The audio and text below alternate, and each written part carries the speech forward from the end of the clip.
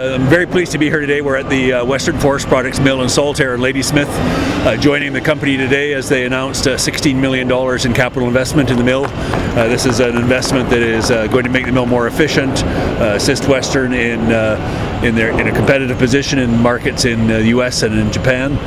something that is an investment in the community. It's protecting 140 jobs here at the mill. It means we got work for food until I retire anyway. So uh, work for the next 20 years. And there's been so much doom and gloom the last you know few years. Mills going up and down, up and down. You, it's it's tough to plan. Now when there's a bit of stability and stability in the future, people can plan.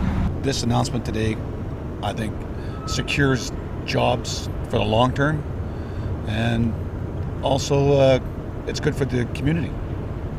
So I mean, we'll be here for a long time now. Yes, most of the product here is destined for Japan.